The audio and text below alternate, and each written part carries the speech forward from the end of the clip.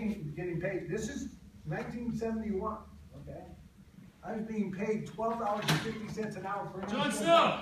Jaime Lannister. Lannister's always always to pay their debts. Winter is coming.